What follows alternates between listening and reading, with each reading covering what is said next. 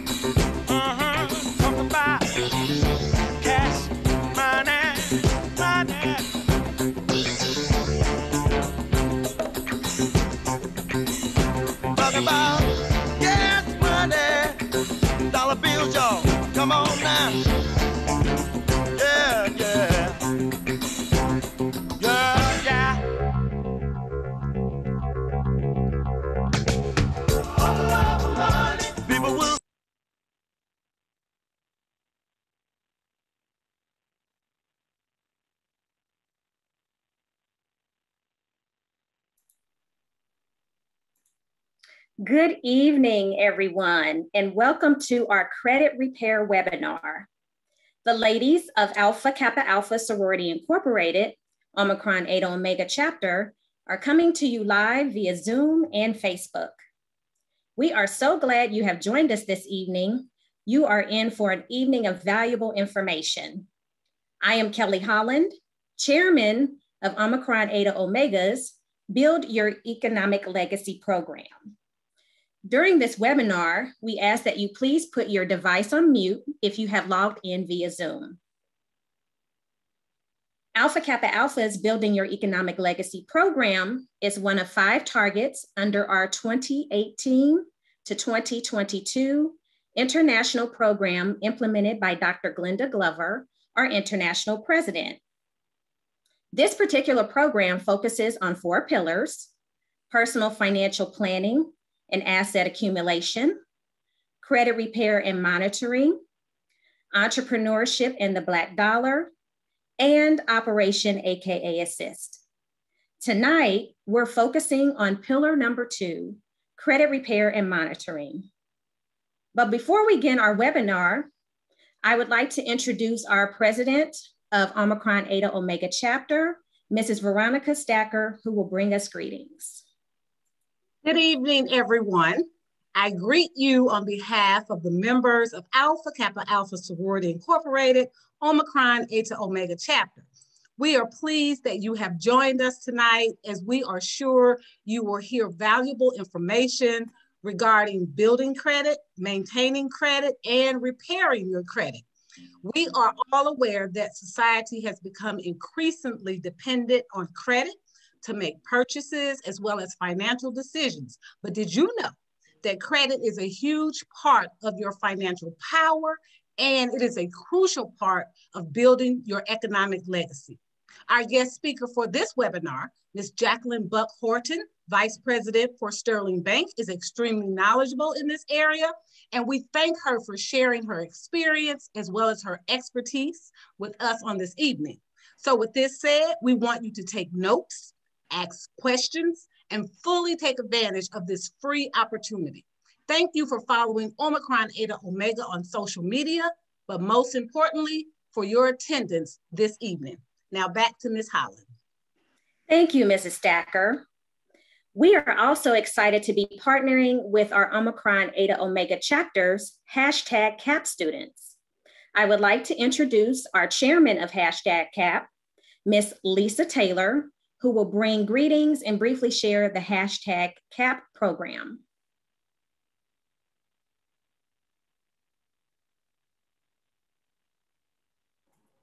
Good evening and greetings. On behalf of hashtag CAP, we are excited to be here as well. For those of you who are wondering, well, what is hashtag CAP? Well, it is Alpha Kappa Alpha Sorority Incorporated signature program, and this acronym stands for College Admissions Process. And the purpose of hashtag CAP is to assist students by providing guidance and support as they navigate through the college application and enrollment process. We hold two workshops with our students each month during the school year that explore important aspects of the admissions process, such as how to write a great personal statement, how to create a profile on the FastWeb website, which we all know is a leading online resource in finding scholarships to help pay for school so you don't have to put it on your credit card, and what things to consider when deciding which college to attend. So if you know of a rising junior or senior who would be interested in taking advantage of this free program, email me at cap at aka-omicronetaomega.org and we'll be happy to assist. And I will also include that email in the chat. Now I will turn it back to, over to Ms. Hollins and thank you. Thank you so much, Ms. Taylor. Now I will turn it over to our moderator, and co-chairman of our Building Your Economic Legacy Committee, Mrs. Alma Grinston, to introduce our guest speaker for this evening. Good evening. Thank you, Kelly. Our guest speaker for this evening is Ms. Jacqueline Buck Horton.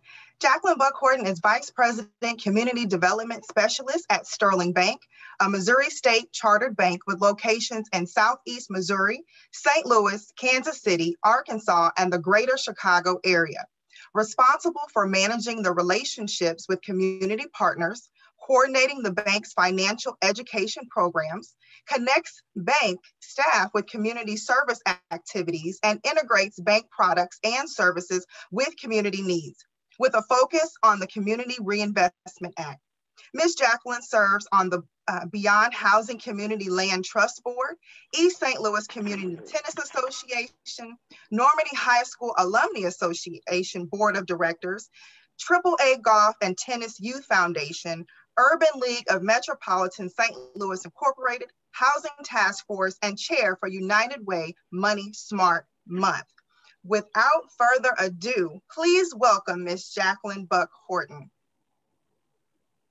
Thank you. Thank you, Alma. I feel like I know you. I've been working with you for the last couple of months yes. on what we've done for the monthly um, money tips yes, Monday. Absolutely. So that was really exciting. And, and I, I know that's pretty going pretty well.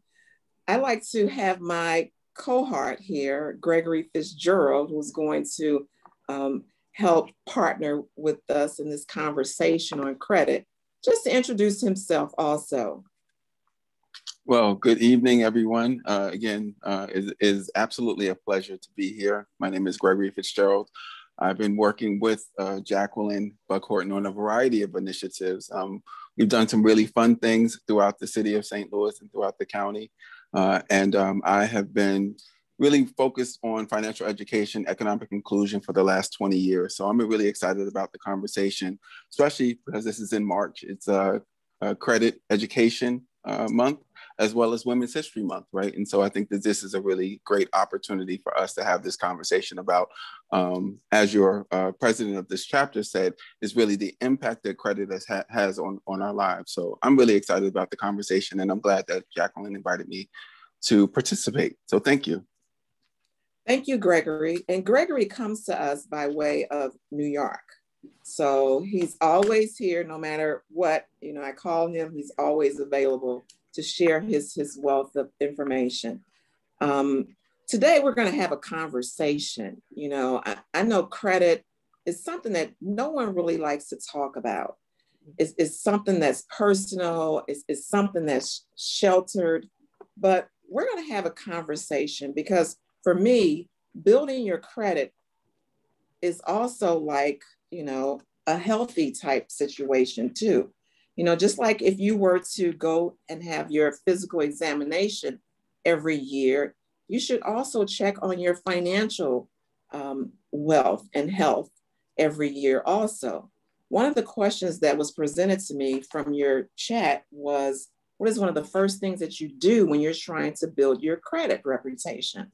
And the first thing that you do, you want to know what your credit score is. So you're going to solicit the three credit reporting agencies Equifax, Experian, and TransUnion are the three big credit reporting agencies. And typically, you can get a free report every year, one free report every year. But because of the pandemic this year, you're able to get a credit report, a free credit report every week until April of 2020. So there's been so much um, identity theft that's been going on. So the three agencies got together and said, well, let's just provide this service free until April of 2020. So no one really has a, has a reason not to know what their credit health looks like. Okay, so really remember that. And, and toward the end, we'll give you tips on where to even find your, your credit. And because can, can anyone tell me what credit really means to you? And I know everybody has a story about their credit report, but can anyone, and Kelly, can you go over the questions too, if you would? What does credit really mean to you? So you're asking me what credit really means to me? Yeah. Um, it means that if you're looking to make a major purchase, um, if it's a car, if it's a house, uh, you would need to have good to excellent credit in order to be able to purchase those things. Okay. And that and means, of course, paying your bills on time. Okay, that's a good, that's a good one. What about you, Brittany? What does credit mean to you? Um, I would say credit means to me the ability to stay in good standing, um, the ability to, I guess, leverage different loans. Like, you know, when I think of credit, I think of like a house or a car, credit card, you know, like to leverage those things in your benefit. Um, and then just like I said, like the ability to then pay those bills on time is what credit means to me. Okay, so I'm just going to give you the definition of it. Credit is the trust which allows one party to provide money or resources, because it could be resources, to another party, wherein the second party doesn't reimburse the first party immediately. So that basically means, you know, Kelly, you're going to give me some money and I'm not going to pay you right away. And that's what basically a credit card does, or establishing some type of credit. And, you know, credit comes up so many different places. You know, it's a reputational thing too. It's a status quo in some cases also. I have a girlfriend, her her license plate says 820. What is 820? That's her credit score. That's big. 820 is big, okay? So when I first started working here, I didn't get a um, a drug screening. I didn't get um, the other typical fingerprinting, and I work for a bank. This is a pretty big establishment. When I worked for Citi, there was a huge FBI background check. But the only thing that they did here is to correct, check my credit. And it came up with some with some things on it that had to do with my mother's credit. So you never know how your credit is going to affect you. Your insurance premiums, right?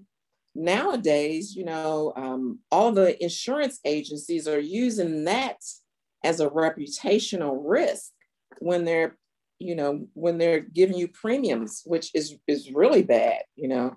So you got to have your your uh, credit scores up for that. Um, um, loans and the rate that you get the loans on, it it all depends on what your credit score is. If you know, people will give you money, but who wants to pay 13% for a thousand dollar signature loan? So all these things are very important aspects of your credit. And I have a real small, short, two minute video presentation. But before we do that, one of the things that Sterling always, Sterling Bank always does, we always have a gift card available. So I want to give a gift card to the first person who registered. See, everybody's popping up there. I Have a $25 Amazon gift card for the very first person who came on the line. Who, who, who was that, Kelly? I believe it may have been Khadija Tijan. Okay, congratulations, Khadija. Can you provide your information in the chat. Is that good, Erica? Put it in the chat. Yes, I have her written down. We'll, we'll get. Okay, great. So congratulations, an Amazon gift card. We'll make sure we get it to you. So now, go ahead, Kelly. I was just going to ask a quick question. You mentioned the free credit reports. Um, is that to April 2020 or April 2021? April 2022. I'm oh, sorry. Oh, 2022. Okay, wonderful. Thank April you. April of the following year, the main credit reporting agencies has allowed you to receive credit reports, free credit reports, weekly credit reports until 2022. Thank you. So please shout it out, take advantage of it. No one should should not know what their credit score is um, now. Okay, Erica, let's roll this video real quick.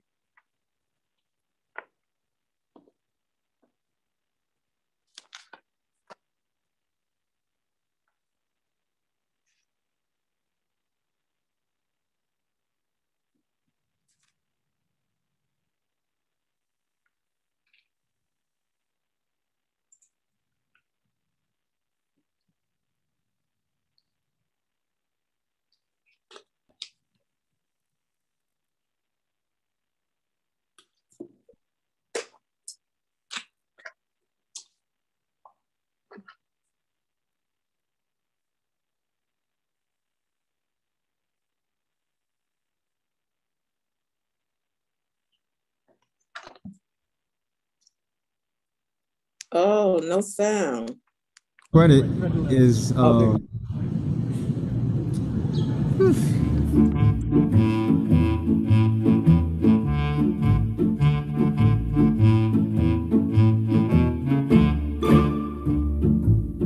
they're convenient. They're very dangerous. Uh, some people just keep throwing them out there, and at the end of the month, they're like, "Oh, I hate credit cards."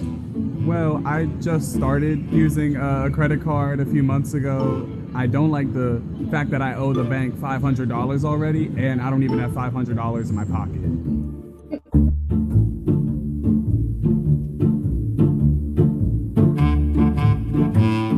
Do I think my income factors my credit score? Honestly, I'm not sure. I want to say yes because that's sort of my basic understanding about it. I do not think my income is calculated into my credit score.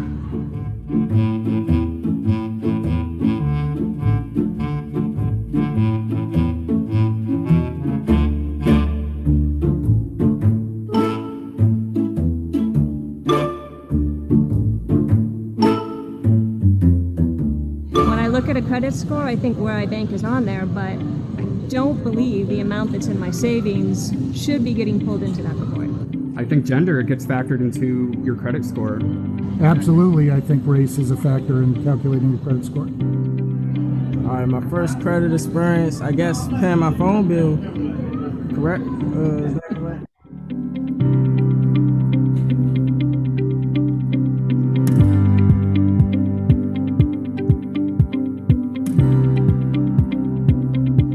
couple credit cards now, and I do not pay them all off at once, and I was told to not do that.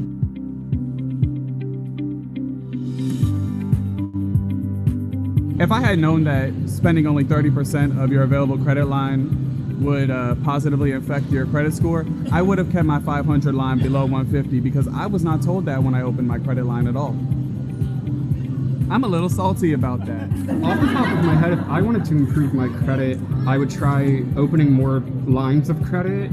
I would keep my payments um, current. As far as I know, I think that's as much as I would do the two big things.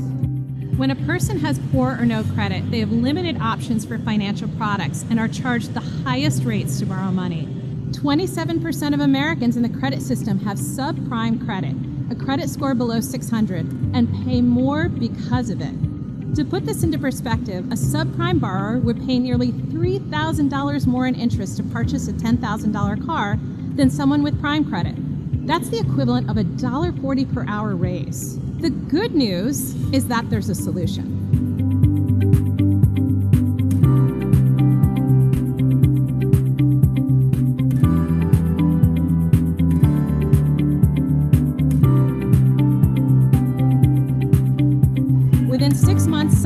Has no credit score whatsoever can have a prime score by using either a safe and affordable credit card or installment loan and by practicing good money management. There are a lot of misconceptions about credit that stand in the way. By clearing up the myths and presenting the facts, there's an opportunity to improve Americans' access to good credit and to pave a pathway to better financial health. I absolutely see a future where I could be uh, improving my credit score. As I get better educated, it's probably not nearly as hard or as futile as I think.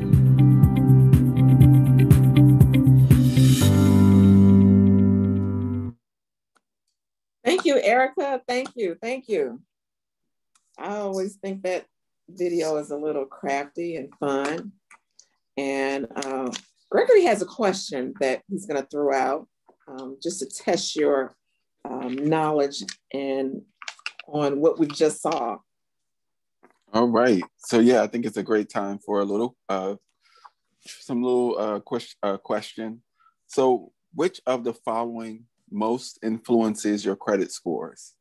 So which of the following most influences your credit scores? Getting a divorce, having a credit application denied, a drop in salary, or none of the above. So, which of the following most influences your credit scores? Getting a divorce, having a credit application denied, a drop in salary, or none of the above? So, for folks, maybe um, you can put your answers in the chat. Let me go to the chat. Let's see.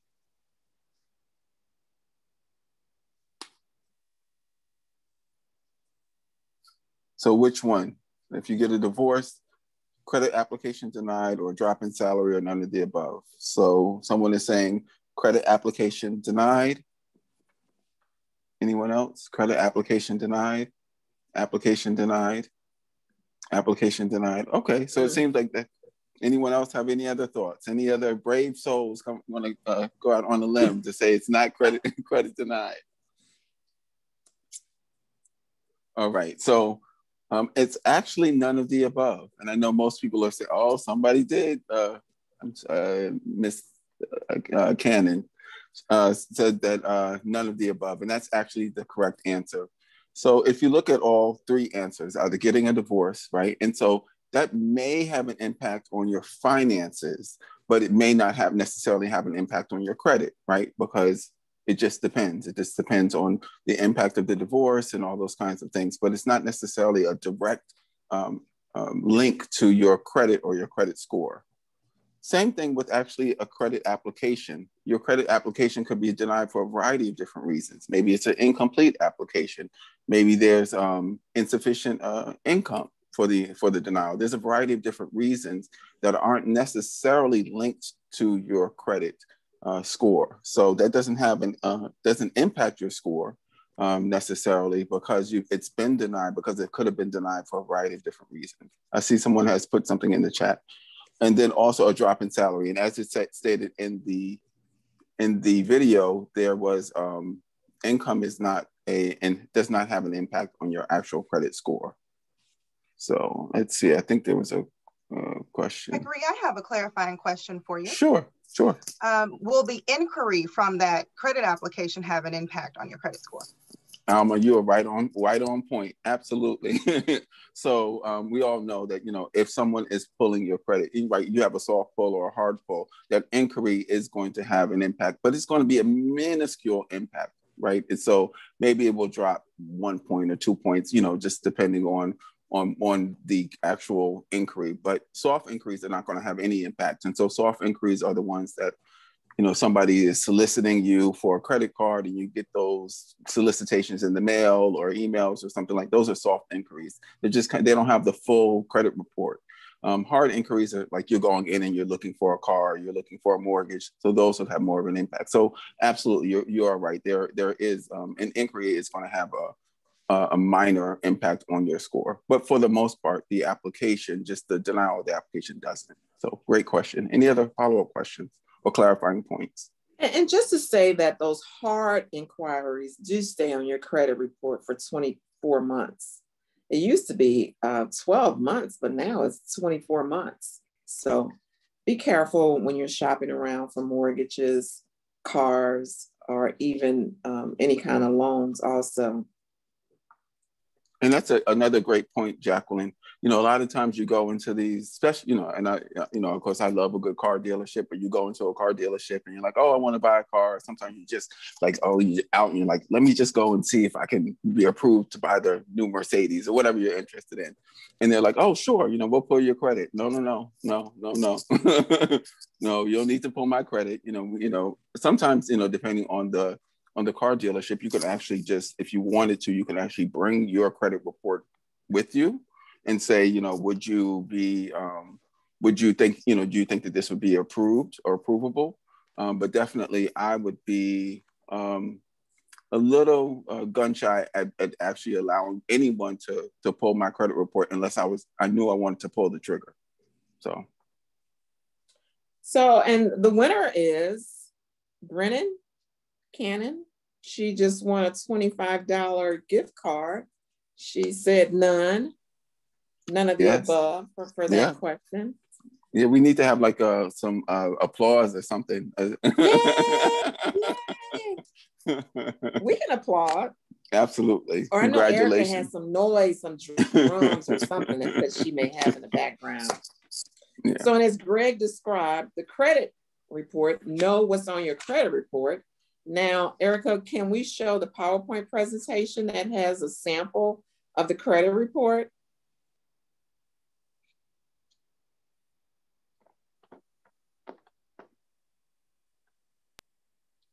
Thank you. Thank you. I hope you guys can see some of this.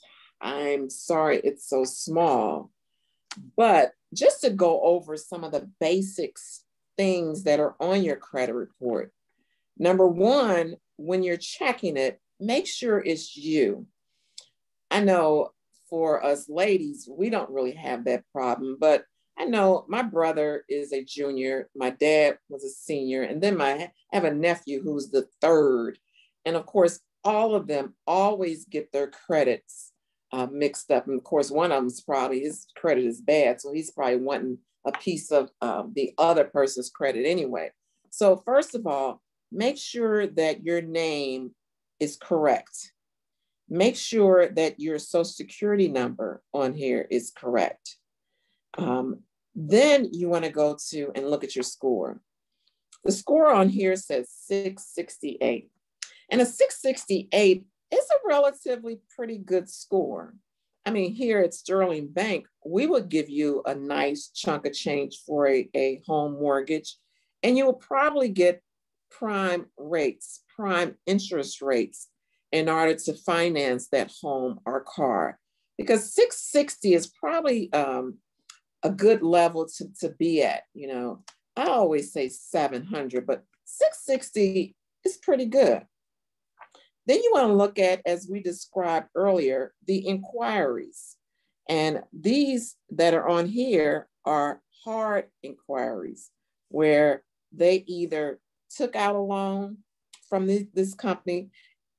And we said hard inquiries kind of hurt you, but they only hurt you if it's not followed through. If Merit Systems gave you a loan and it's still on the books, that meant it went through. And that's a revolving loan that you guys are going to continue to pay. So it's a good hard hit. Okay. Of course, there's the collections. Collections are not good at all. Anytime you have any collections out here, you want to make sure that you can try to call the companies, try to make some type of arrangements so that they can take it off of your credit report and sometimes they will allow you to pay a, a, a payoff on it, a short payoff, so that it won't continue to be on your credit.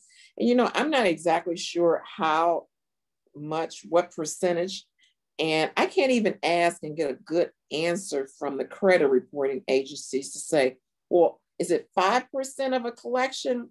Is it 4% that affects your, your score? they can't give me anything in, in numbers that will actually um, tell you exactly how, how much or what percentage actually affects your credit. Uh, the trade lines, um, these are um, historical things and your payments. So this gives you history and it gives you your history, historical reputation. Of course, everyone's credit journey is going to be different you just want to make sure that you you concentrate on keeping your credit score healthy. And one of the reasons, or one of the ways to build your credit, um, next slide, please. Um, first of all, is to have at least, like they said in the presentation, uh, pay your bills on time. But you, you want to have at least three three active trade lines. So if you have a car loan that you're constantly paying off, not if it's paid in full already, because that's not an active trade line. That means it was paid in full. And you do get credit. I mean, it goes on your reputation too, but it doesn't build your credit score up. If you have a revolving card, I always try to tell people, you know, get at least one revolving credit card. And I'm not talking about Macy's or Nordstrom. I mean, a credit card that you can use to travel with or just to say that I can put 35% of whatever limit. They give you um, a $1,000. Use between 30 and 35% of your limits, not over. Try not to go over to help build your credit because that builds credit reputation also. And no matter where you go, you got to have a credit card, right? And maybe a personal loan. So Sterling Bank has what we call a credit builder loan, a credit builder CD. And what it does is you are able to purchase a certificate of deposit and you can do it for $300 or you can do it for $1,000. And you we put it in, into a, a CD, you constantly pay it back, and then that establishes your credit. It's not credit driven, there's no loan fees on it, and it really helps you to establish your credit. And once you find or once you pay it off, then you go back to your credit report and see how much, how what percentage it has actually helped you uh, build your credit. Unfortunately, um, cell phones, utility bills, uh, rent payments do not help to build your credit. But Gregory has a little information to tell us about how those those payments, because those are very important payments and big payments that for, for most people, a cell, cell phone bill can be as much as $200 or more. So Gregory, what is your information about that? So, um, and this is not, a, you know, promoting any any any one company, but I did want to highlight that the um, Experian, which is one of the credit reporting agencies, Experian has uh, Experian Boost. Uh, many of you have, uh, may have seen that their commercial. I think they have a lot of commercials on TV at this point, maybe even on the radio, um, and some other advertisements. But so Experian Boost um, looks at alternative forms of credit. So they will look at your um, history of paying utility bills, history of potentially paying rent, but anything that wouldn't traditionally be on your credit uh, report. Um, though they will, you can sign up for Experian Boost. You can have give them access to your uh, checking uh, uh account. You know, they'll do a scan and they're looking, I guess, for certain key um, keywords to identify that this is a utility bill. And then they will say, okay, it seems like, you know, over the last three months or longer, you have been paying this bill on time, you know, regularly. So it's, you know, recurring, a recurring bill that's that you've been paying regularly.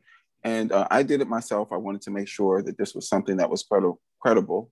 And actually, my my score just in a matter of, of seconds, really almost, it went up about 20 to 30, about 25 uh, points. So it was wow. significant. Yeah, it was definitely significant. So it is a product that is unique to Experian. Um, I think one of the questions, if I can just pivot to one of the questions that was asked to Jacqueline, if that's okay, um, it asked um, about the different difference in credit bureaus. And so, you know, as Jacqueline had indicated before, there's three major credit bureaus when we think of credit reporting agencies. So, you know, Experian, Trans uh, Union, and Equifax. So each uh, agency kind of has uh, you know different creditors. Uh, most creditors will report to all three, but it is not a hard and fast rule. There is no regulations that say that they have to report to all three. So just like they don't have to report to all three, all th- you know the the three agencies can come up with their own kind of way of calculating your score. So Experian has used um, what they call, like I said, an Experian Boost, in order to give people a boost. Because, of course, throughout the entire industry, people were saying, hey, well, what about my rent? I pay that on time every month. What about my, you know, uh, Ameren bill? What about Spire? You know, I pay those bills on time every month. I mean, why does that, what, why doesn't that calculate? So uh, Experian was the first one to kind of step out there to say, hey, we'll come up with a product.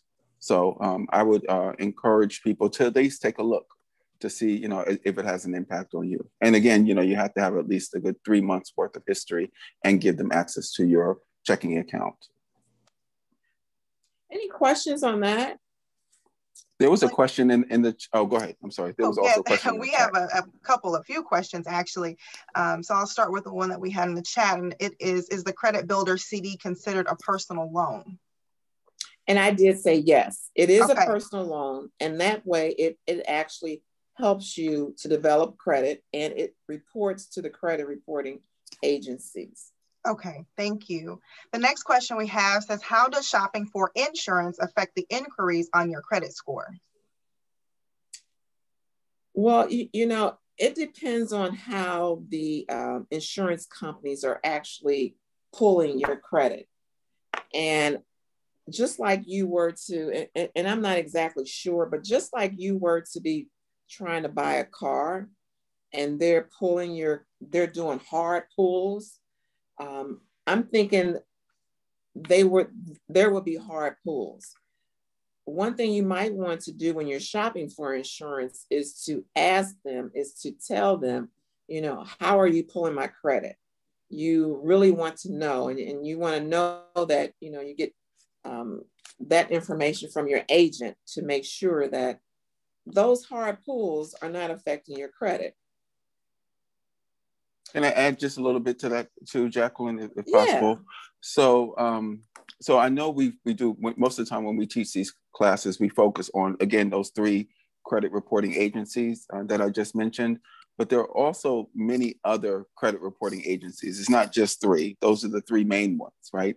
But um, let, us so the insurance industry has their own system. Uh, it is a credit-based system, so they're pulling some information uh, and they're making determinations based on the information that they have in their own system. Now, this may not be for all of the insurance companies, but primarily the, the larger ones have an, uh, a credit-based system um, that um, your information is being reported to that they can look at. So it doesn't have, you know, so if you're going to, it, may or may not be that they've looked at Experian or Equifax or TransUnion. They're probably more than likely looking at the system that they use that's kind of um, proprietary to that organization. So just so as an example, um, sometimes if people are trying to get an apartment and that apartment uh, um, complex is saying, well, we need to find out if you ever have been evicted, right? There's a whole system. That's another credit reporting system that's looked at for evictions. That's not on your credit report.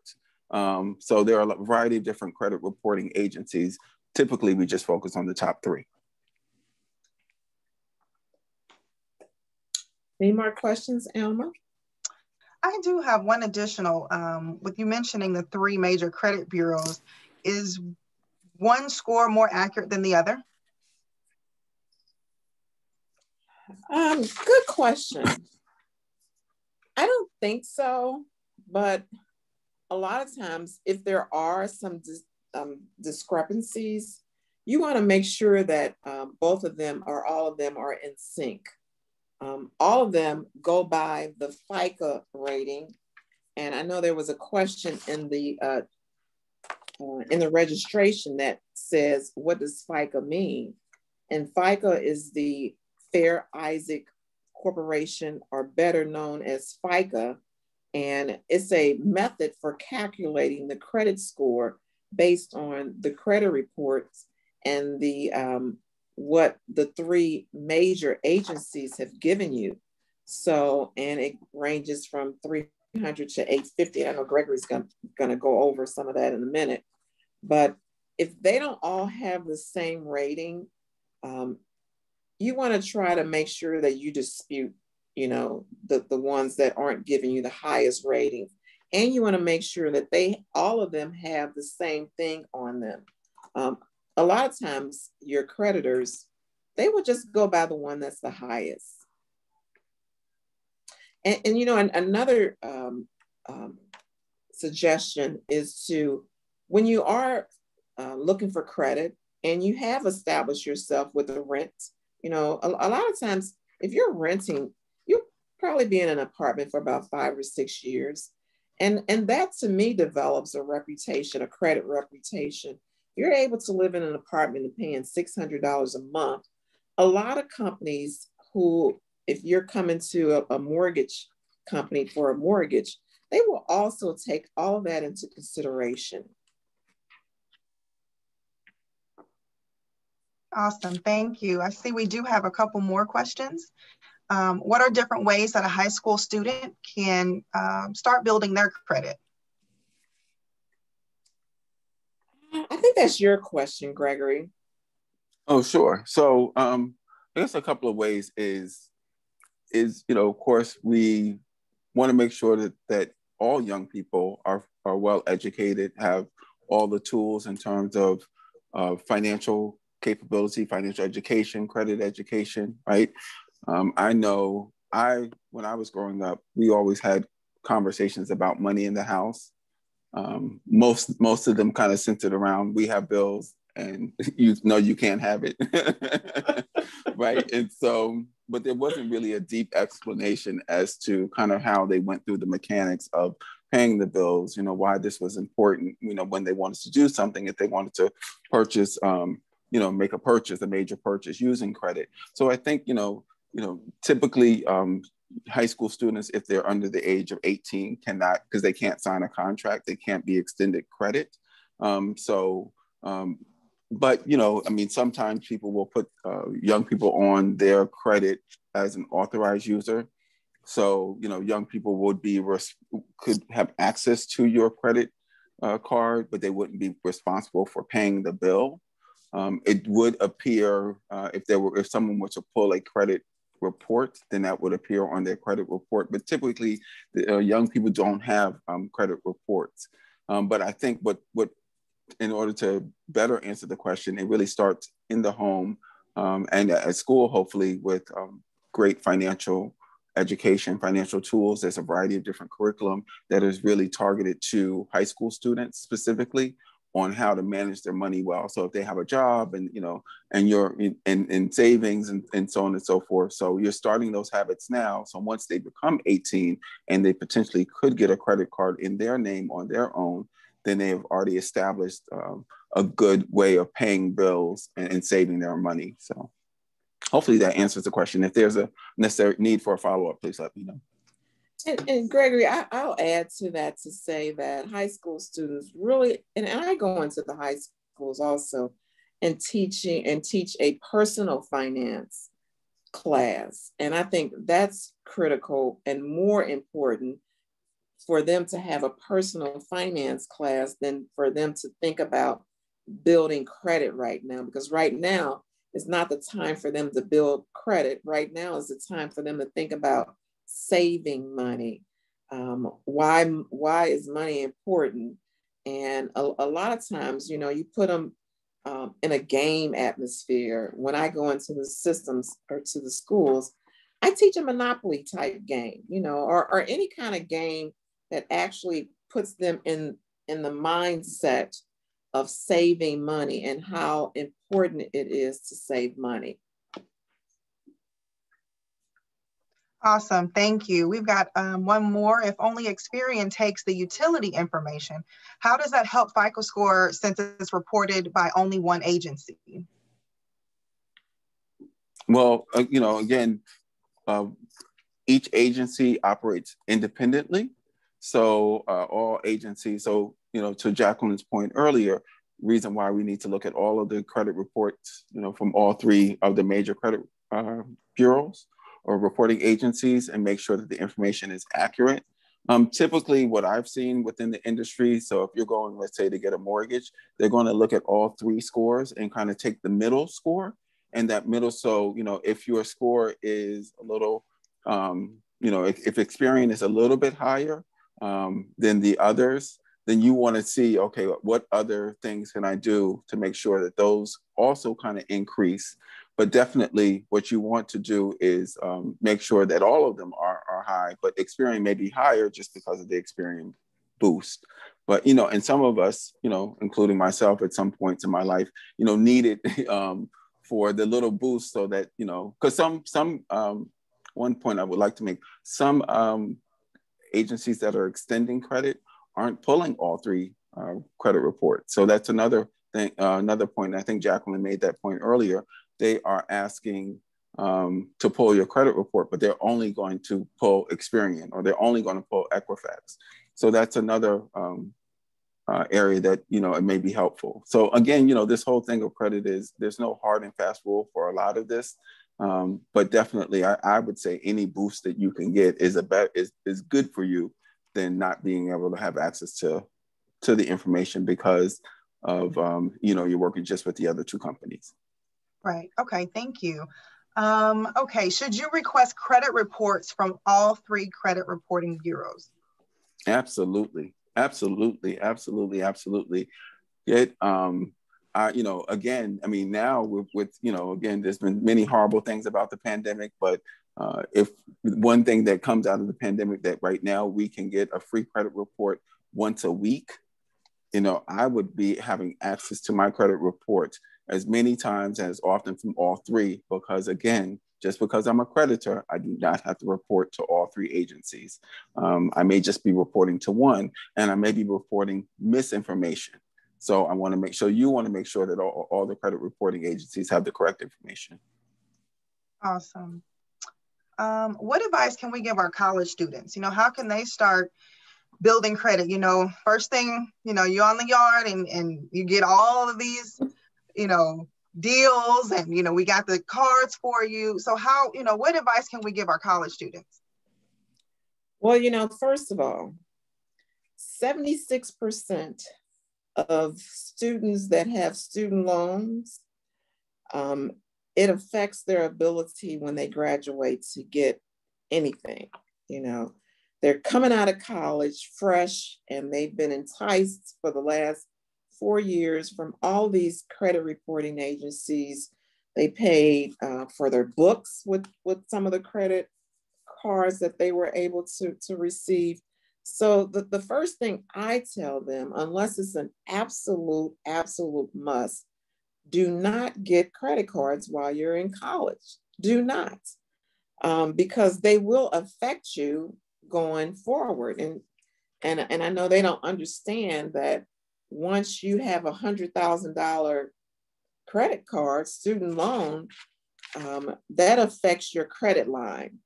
So you may come out of college with a job making $150,000, but your credit line has been shortened because you still have that student loan to pay. Now, if Biden is able to cut it, it's still only going to be cut, what is it, $10,000. He's only going to cut $10,000 of that hundred hundred thousand dollars. So I always tell students, you know, unless they really, really have to get a student credit card, don't get them. Don't get them. And a lot of times, students or college students can be a little irresponsible. You know, spring break, they're traveling, and sometimes they're not even really using it for its intended purpose. So, and, and the parents have to monitor them too. So, I say don't get them. What do you say, Gregory? Tell us about your experience with your with your college credit card at Howard. Right. Well, you know, we all have we all have our experience. So when I was, you know, a little bit younger, uh, just a couple of years ago, of course, and I was in college, and um, I, I, you know, I would say I had access to, you know, of course I was I was out there. I went to Howard's. I was out there on the yard, and I was, you know, they had the, all the different uh, tables. I don't think they do that any, any longer, but they had the tables, and I was like, great, you know, I'll get me a credit card. So I got an, an American Express, and it was the green card, not these other blue-looking American Expresses. Or other one, the green one where you had to pay it in full every month, and I you know, didn't realize that you had to exactly the free good exactly. Um, I didn't realize or I didn't pay attention because I was just like, oh, great, you know, I have, you know, let's say like my limit was like seven hundred dollars or five hundred dollars or whatever. It's like, yep, I'm definitely gonna, you know, I get this credit card, and I always wanted a Shearling coat. I was like, okay, I'm gonna go buy the Shearling coat. The coat costs four hundred dollars. I didn't have. I'm like the the young man that was in the video. I didn't have four hundred dollars even in the bank. So, but I could go out. I went out and I bought this coat, and it was four hundred dollars. And at the end of the month, um, the um, you know they sent me the bill and they were like, oh, you know, you need to pay us. And I'm like, I don't have four hundred dollars. And then they kept calling and calling and calling and calling, and I'm like, this is getting crazy now. So, what I would say to all uh, college age students is try to be as responsible as possible when you have uh, access to a credit card, if even if you're authorized user or your, you know, of your parents um, co-sign. So to make sure that you can have access to credit, because what happened to me was it became stressful, right? In addition to you know, school and, and, and, and papers and all that other kinds of stuff. And then, you know, student loans and all, the, all those responsibilities when you're learning to become an adult, when you're adulting, um, it just became unnecessarily stressful, right? For a $400 um, coat, I was getting phone calls, you know, I couldn't sleep. I was doing all these things. And I was like, I really need to be focused on my studies. And now I'm, I'm trying to figure out how to avoid from picking up the phone. You know, of course, this is before cell phones and and and all that kind of stuff. So, you know, you go home and you're picking up the phone and you're like, who is this? And it would just became stressful. So to the extent possible, I know many young people definitely um, want uh, a credit card because they believe they'll have you know more financial freedom. Um, but just please be responsible. Uh, so just say no and save. Amen. Amen. Bottom line, just say no and save. okay, thank you for that um, information. So, um, can we jump into, you know, what is a good credit score? You know, because I know we've got a lot of good information. Um, and sure. for the sake of time, I want to make sure that we get all this inf- good information out to our viewers. So, can we jump into sure. what what is a good credit score? Sure. Yes, so, so, um, so Brittany or Erica, can you change to that um, present or the next screen? There you go. Okay. Yeah. so, Gregory. Yeah, absolutely. So as as you see from the you know from the screen, of course, anything really above you know uh, 660, and I know you know the the, the screen says Canada, but this is definitely applicable to um, to the U.S. as well. Um, anything above you know 660 right now we're in a pandemic and, and, and agencies are being a little more strict. So maybe it just depends on the organization. They may you know increase that to 7 7 720 um, would be considered to be quote unquote good. Um, so you know anything you know less than that then you know there's uh, absolute opportunities to to do some work. And it could be just you know reviewing your credit report and making sure that it's correct because there's you know old information or misinformation or incorrect or inaccurate information in your credit report. Um, do you want to move to the next the next slide? Yeah let's do that. Thank you. I don't think mm-hmm. we had any questions on that one. Okay Great. All right. Yeah. So ways to remove a negative credit report inquiry, and these are some some things that I've done personally. You know, you um, and really they make it very easy. I mean, I, I I've sat in you know on my phone and just um, submitted a um, a uh, submitted a request to remove have delinquent information or inaccurate information removed. So as you'll see, it says submit a report to the credit uh, uh bureau and you can just go to their actual website. They're going to ask you for some information to verify that you are, you know, verify your identity. And so it should be information that you should know, you know, you know, of these three addresses, you know, have which one have you lived on, you know, and if it, it could be none. Um, also, um, so once you go to the credit uh, reporting agency website, then you will you you will also have an opportunity to identify on that credit report, you know, this um, trade line is inaccurate you can write a, a, notation on that trade line and then you could press submit. So that's kind of the, you know, like the 2021 uh, version. Um, this is really speaking to the fact that, you know, absolutely the mail still works. You can come up with um, a letter and then even on the, the credit reporting agency's website, it will have, you know, if you want to send a letter to us to say, you know, um, that you will, uh, you want the inaccurate information removed, you can do that. Um, and as it says here, send a pay for delete offer to your creditor. So that's a little different. So that's, you know, what I just described was to how to remove negative information that's inaccurate. If the negative information is accurate, which sometimes it is too, you can actually speak to your creditor and that creditor will say, you know, well, are you going to pay the paid in full? And you say, well, if I pay it in full, will you delete the information from my credit report? right? And so that information, so, you know, many times, you know, the credit uh, collection agency is just, they're really just in it just to get, you know, as much money from you as possible. So you try to broker a deal with them. If I'm paid in full, can you delete it? And you try to get that information back from them in writing. Um, sometimes mm-hmm. it's difficult. That exchange is difficult because they want the money first, and then they want, then they'll send you the letter. So you kind of have to have a back and forth with them. But I've absolutely seen it done, um, and it's done more times than, than not you know, sometimes you, you know, you have not because you ask not. So ask and don't and be bold because the credit collection agencies are going to be bold with you. So say, hey, absolutely, I'll pay you the hundred dollars, but I want to delete it from my um, credit report. And this is just a sample uh, credit report dispute letter. So again, you know, in the um, example that I gave, you can absolutely write a letter. It doesn't have everything doesn't have to be through the through the uh, through their website or through uh, an app. Okay. And, and this is just a really good sample letter. You know, you don't have to reinvent the wheel. Always try to find something that gets the job done. This will actually get the job done. And when they do um, remove any negative reporting on there, you want to make sure that it says on your credit report, paid as agreed. If they remove it, make sure paid as agreed. And, and the only thing, I mean, the only thing about advocating for yourself, it takes time. It really takes time and effort.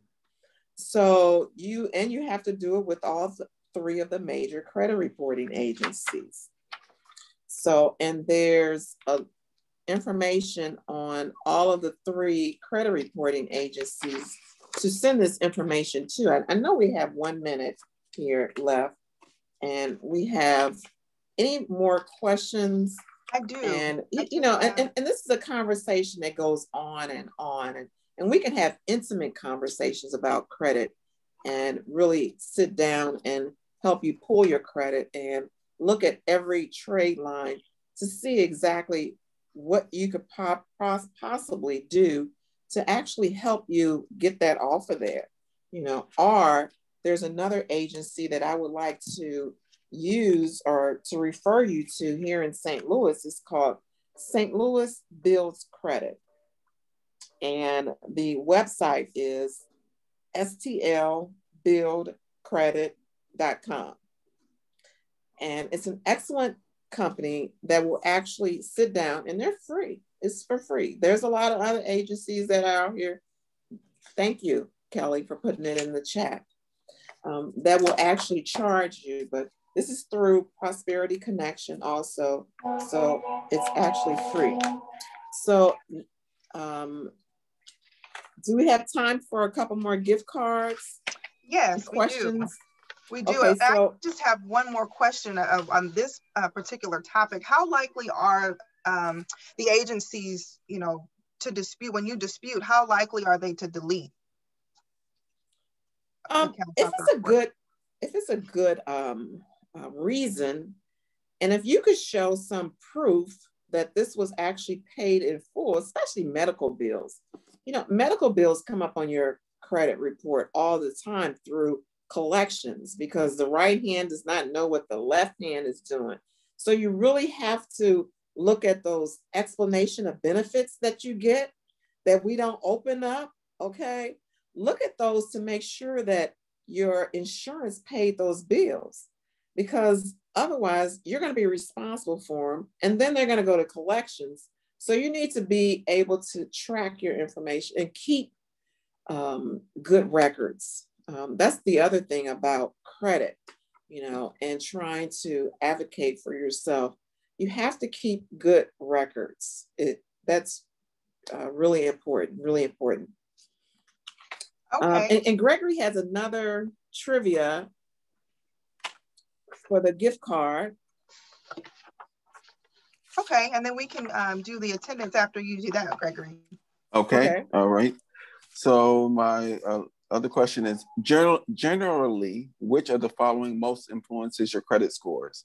The types of credit accounts you have, uh, which is A, B, your payment history, C, the amount of credit you're using compared to the total amount available to you, or D, the length of your credit history. So, which of the following most influences your credit scores? So, the types of credit accounts that you have, your payment history, the amount of credit you're using compared to the total amount or the length of your credit history. Okay, Someone wants to just add to the, the Melanie chat. Davis got it, Gregory. Your payment okay. history. Absolutely. So again, as as as you know, this we kind of gave you a little update in the cheat uh, with the video because the video really kind of called that out. You know, if you just can pay your bills on time, um, and it's just really paying the minimum on time all the time, you will see that your credit score is um, positively impacted. So for that person, Melanie, we have a Michael's gift card for you. And it doesn't mean that the others aren't in, an impact, but definitely when they're looking at your payment history, that has the most impact. Okay, and can Gregory do one more question? One more question. I know we're two minutes over, but um, this is okay. Now we get like to pass that church. We exactly. on the third closing now. more, Gregory, now this is it. Because now we want to give these Sterling Bank wants to give these credit or these gift cards away. Now, is this we got attendance prizes as well, right? Oh, they have attendance prizes. So okay, yeah, so perfect. yeah, yeah. Okay. And we close it off. Go ahead. I think you said you had attendance prizes. So yeah, so let's do the. Oh no, prizes. I don't. those we gave the first person an attendance prize. Okay. All right. Well, Um, I definitely have a lot more questions. Um, uh, okay. This is a, it will always help my credit score to close an account that's paid in full. Is that true or false? First person that says the answer. Right. Okay. So the answer is absolutely false. So if you have any old or rarely used accounts that demonstrates a strong payment history, it, uh, it will be reflected in your credit history if the account activity is reported to a nationwide credit bureau. So, but it's more important you how you use your accounts and the amount of, of available credit you're using. Okay. So the answer to that was false. I'm not sure who did it first. False was well, Melanie got Melanie Davis. So Melanie, we're gonna give it to the next person if that's okay. Oh, okay. And I can do one more attendance prize. Um, Kelly. Yeah, let's do um, let's do that. But before we before we do that, um, I just want to thank you and Gregory for um, your time and your expertise in this matter. Um, and I would ask if you all could share your contact information. Um, you know, if if someone wants more information, how can how can they reach you? I do have it within the PowerPoint presentation, okay. Erica. If you want to pop that up on the screen. Thank awesome. you. Thank you. That's my contact information. And if you would like to have a more intimate conversation, um, credit can be um, pretty intimate. You know, if you want to come into my office or just do a, a phone call, I, I will be glad to um, to help you. As as well as if you're starting a business, you know, a lot of times you want to make sure that you're in line with your personal finances to to start your business. Awesome. Again, thank you so much for that information. And some of the takeaways that I have are check your reports early and often. For our students out there, just say no and save.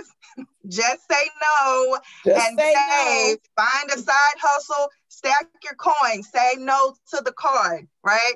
And keep good records. Is that a good kind of recap of, of tonight's webinar. So again, thank you so much.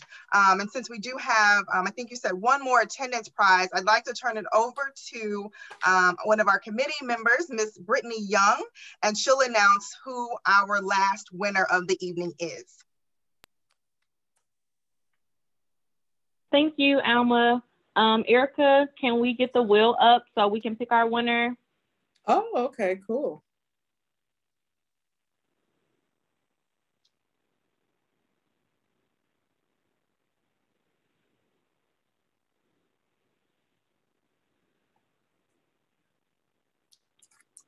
Samantha Williams. So we will take her name and add it to our list.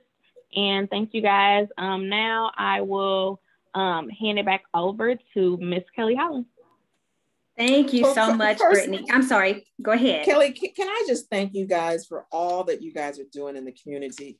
It really, really makes a lot of, I mean, it helps a lot for us bankers, us community bankers um, and community, I mean, and Gregory it really makes our job a lot easier that we have partners that are out here helping with financial literacy because that's what's going to really help like uh, ronnie said that's what's going to really help us um, build our economy. So thank you thank you for all you guys are doing. And thank you both uh, jacqueline and gregory for such informative information this evening. We do appreciate your time. You could have been anywhere else, but you came and joined us. So I appreciate that. And thank you, Brittany, for um, announcing our last attendance prize. So, um, what I would like to do at this point is just introduce our fabulous committee who made this event possible. Um, if your camera is on, if not, but I just want to um, acknowledge you all. Again, our wonderful moderator, Alma Grinston, our second co-chairman, Candice Hamel, Yolanda Lockhart, Sherry Robinson, Melissa Humphrey, Erica McGill, Whitney Young, and Brittany Young. I thank you ladies so, so much for um, allowing this event to come off and and be as successful as it is. So thank you, thank you so much. And now I'd like to turn it over to our first Vice President, Ms. Carolyn Wilson, who will provide closing remarks.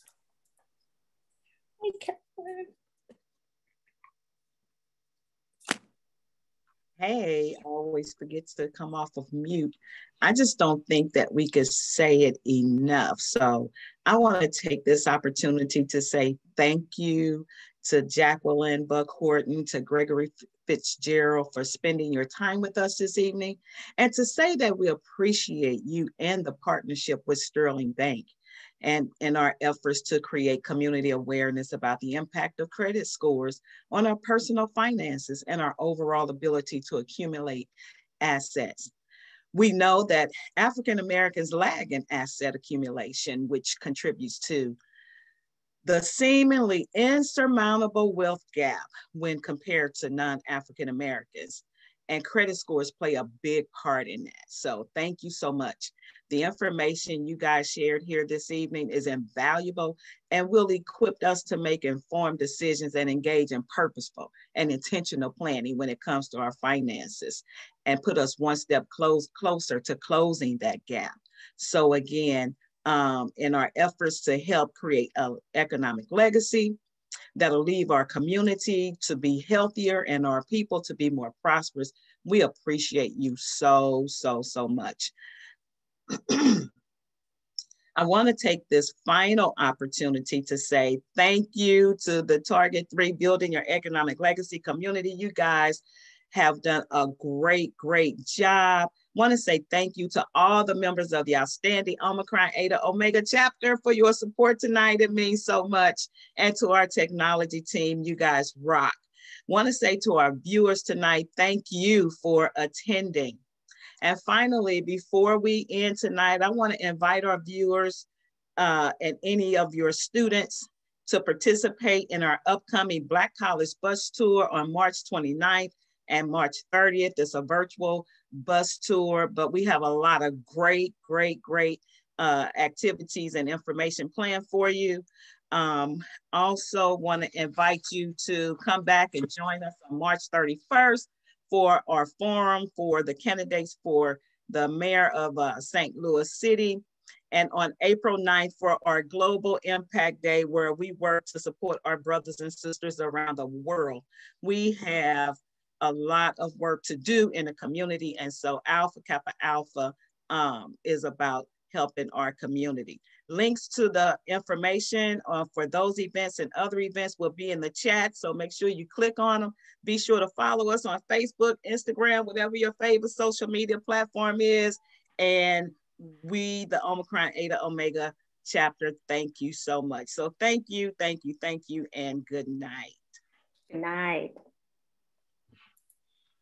Thank you, Kelly. Thank you. Thank you, ladies. And thank you, Gregory. Thank you all. This was great. Thank you. This was really great. Thank you. It was awesome.